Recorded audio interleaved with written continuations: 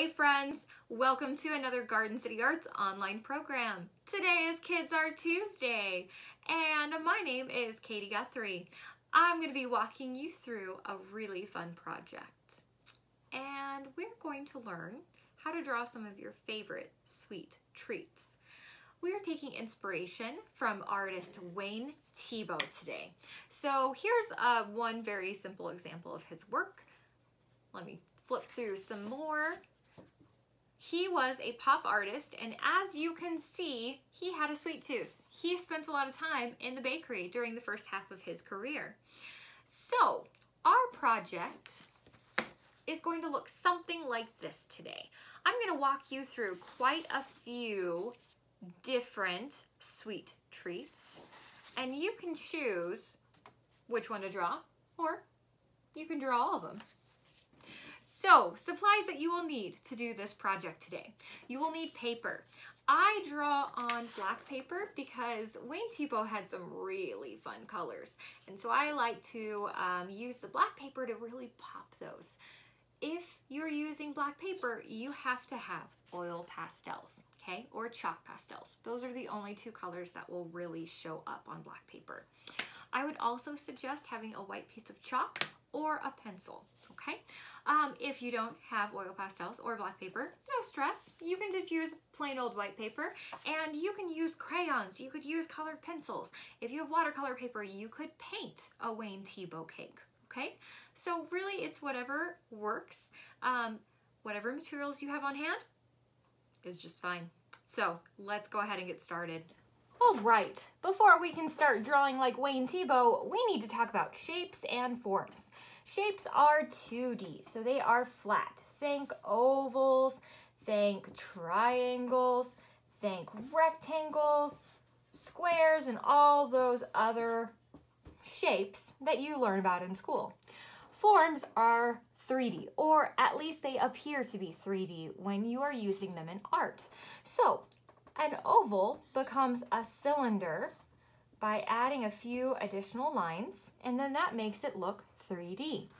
Triangles become triangular prisms by adding maybe some other shape like a rectangle to the bottom of it, okay? Um, think about like cubes. Oh, cubes are fun. Cubes are 3D squares, okay? So there are lots of different forms out there and Wayne Thiebaud used a lot of them in his artwork. We are going to make our own sweet treats starting right now. I've decided that I'm going to make a piece of pie. So if I'm using, if you are, like me, using black paper, you're gonna want a piece of chalk. The very first thing we want to do is make a triangle. Now the triangle isn't going to be one that you think of like you see like the food pyramid. It's not going to be one of those perfect triangles. It's going to be a little bit shorter and a little bit thinner. So I'm going to make a diagonal line. That's going to be the crust of my pie. Then I'm going to make a nice straight line that's um, parallel to the bottom of your page, bottom and top. Okay, this is a horizontal line that runs left to right. And then I'm going to make another diagonal line connecting the two points. And that's going to be the top edge of my pie. Now, right now, it's just a shape, right? To make it into a form, I'm going to add a rectangle down below underneath. And what I do is I add two parallel lines coming down, and then I want to make sure that this line right here is parallel to that line right there. Do you see? So it makes a nice rectangle. Now, if you want, you can add a scalloped line. Scalloped lines are basically a bunch of hills thrown together. And then bring it down a little bit and underneath your pie. And that will make the crust. Okay, so that's a really simple pie. Fun and easy. You could also make, I'm gonna just draw all sorts of things on here. You could also make, ooh, what about like a cupcake? We could make a cupcake.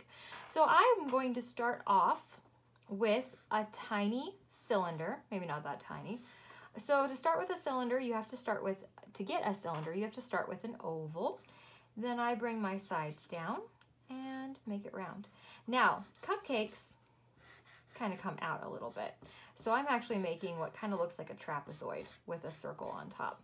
Okay, now remember, don't stress too much. If you're using pencil, you can erase. I can't erase because chalk doesn't erase well from paper, but I can cover it up with my oil pastels. So if you're using oil pastels, no worries. Next, I'm going to make a whole bunch of what look kind of like um, hot dogs. Okay, I'm going to use curved lines on either end and make it round. I could make those curved lines come over the wrapper, the wrapper or the cylinder a little bit if you want lots and lots of frosting on your cupcake. I'm going to make a smaller hot dog and then another small hot dog. Going to round it out and then I might put a cherry on top. Okay, so I know it is maybe a little bit harder to understand with all my lines, but remember you can erase those lines that you don't need and you'll have a nice little cupcake. Cupcake wrapper, voila. Okay, um, if I want to make a cake, oh, there's not very much room for a cake, is there? Um, I'm gonna make a really tiny cake up here. I'm gonna start again with an oval. I'm gonna keep my sides nice and straight this time and end with a curved line. Okay, now I could always put plates underneath all of these, and the way you would do that is just to make little ovals. Well, ovals that are bigger than your sweet treat. And the oval goes behind and disappears behind the cake, pie, or cupcake. Now, I have some nice basic outlines Okay, outlines are the uh, contour lines or outlines are basically the borders of your object that you are creating. Now I can have fun and add color. Now this part is fun, but I want you to make sure that you're not just coloring things in solid, okay? You want to think about the shape and maybe the direction you want your lines to go in.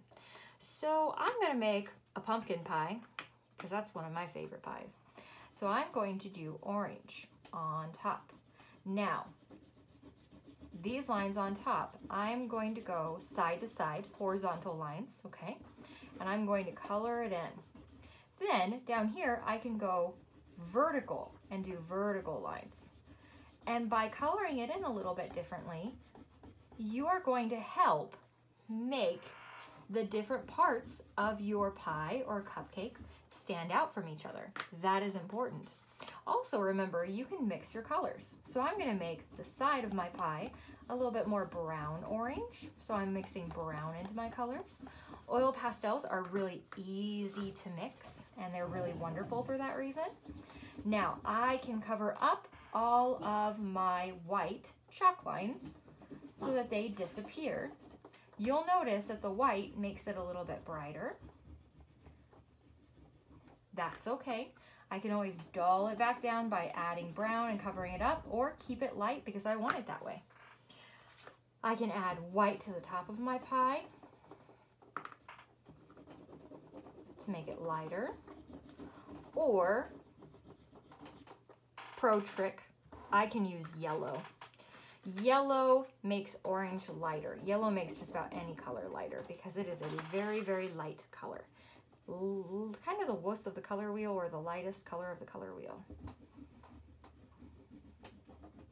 Okay, so I have very basic pie. I'm going to continue coloring, but you kind of get the gist, right? So we are thinking about the different forms. If I want these scallops to stand out, then I'm going to make kind of curvy lines as I color this in. And go ahead and get your crust and your pie done and all that good stuff. And then we'll move on to talking about the cupcake. So I'm gonna speed up just a little bit right here.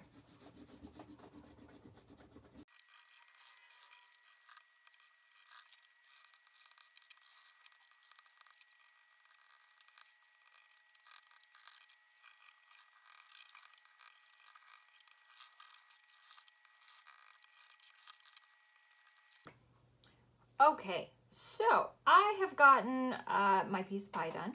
Um, I'm going to quickly color in the other two and just kind of talk you through a little bit about how to do that. So, um, let's go ahead and get started on the cupcake. So again, remember to start dark to light. I don't know if you caught that, but that's kind of what I was doing on a lot of them. So I'm putting in just a little bit of dark brown for my wrapper. Then I can go in with my yellow. If I want like a tan wrapper, then I could do that. You can color your wrapper any color you want. I would still use some dark colors and some light colors to accent your wrapper. Um, you could even throw in a little bit of details like polka dots onto your wrapper if you want. Make sure you have some of those polka dots going off your cupcake so they'd be like semicircles, right? And you can also go back in and add lots of good details. I use my black as kind of my finisher to create just a few little basic outlines that help give some detail to your cupcake, pie, whatever you're drawing. Um, let's see, I'm gonna have a vanilla cupcake with a red cherry on top. So again, I'm starting with some darker colors. Uh, white is not just white. You're gonna see some yellows in there. You're gonna see some grays. You might even see a little bit of blues if you're looking at kind of the shadowed area. So Wayne Thiebaud didn't just paint white for frosting, he added a lot of really great colors that made him a pop artist. Um, or made him a good pop artist, I should say. So he was a pop artist and he created some really, really fun pieces of art using very vibrant colors. Might not be really obvious when you first look at them, but if you look at them up close, you'll see layers of gorgeous colors. So I laid down some of, I'm kind of copying Wayne Thiebaud, which is the theme of the day. I laid down some yellows for where the warm colors are hitting and some blues for where there's some shadows, okay? So the yellow is the warm part where there's lots of light and the blues are the shadowy parts where the light maybe isn't touching as much, maybe underneath those pieces of, those chunks of frosting.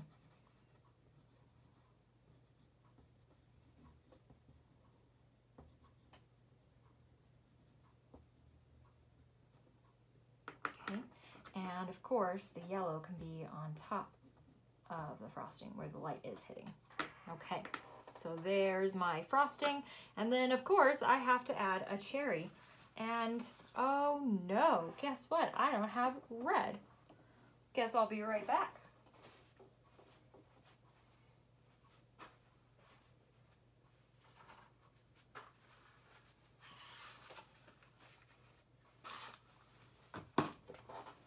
Okay, had to go grab another set and I now have red. So I'm going to continue with my theme of light on top and dark on bottom.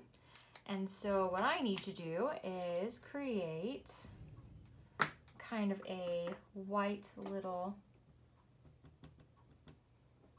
highlight on my cherry.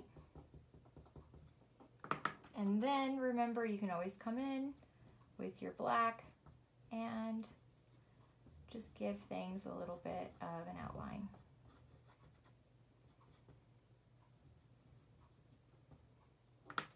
Okay, I could color my plate. The cake is very similar to the pie, so I think that at this point you probably could um, head out on your own and color your own sweet treat. So remember, just to review really quickly, you start out with a basic shape, you turn it into a form or make it 3D, add any details that you think it might need, crusts, uh, frosting, what have you. Make sure that you put your sweet treat on a plate. You don't want to eat it off the countertop. If you want to, you could put a counter or horizontal line where the counter meets like the back wall of your kitchen and you could decorate that as well. So you start off with basic shapes, then remember you color, color from dark to light. Uh, think about the direction you're coloring, okay? So each shape maybe color in a different direction to distinguish the different forms. With my plate, I don't know if you noticed, but I was doing kind of curvy lines. I wasn't coloring straight up and down. No, I was doing curvy lines that follow the form. So make sure you go from dark to light, color to follow the form, and think about basic shapes and then turn them into 3D objects. And you will have some awesome looking sweet treats. Remember, if you need references, check out Wayne Thiebaud's work. You can just Google him. And his name is spelled a little weird, but I will have it right up in the upper corner of this video so that you can Google him. Friends, your teacher is mighty forgetful these days. I forgot to include how to draw a cake with a slice taken out of it in the video. But have no fear, you can pause this section of the video and follow these six simple steps to create your own cake with a slice missing. Have fun! Thank you for watching this Garden City Arts online program. Please help us thank our sponsors.